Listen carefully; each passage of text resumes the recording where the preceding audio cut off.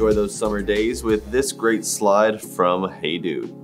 This comfortable new silhouette is made with the dry step mesh.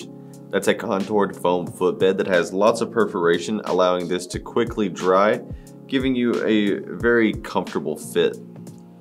There's a textile hook and loop strap across the top to give you an adjusted fit and it has plenty of padding on the inside as well to make sure it's cushiony. Underneath it has a very squishy EVA outsole that has lots of rebound with a nice grip and lots of flex.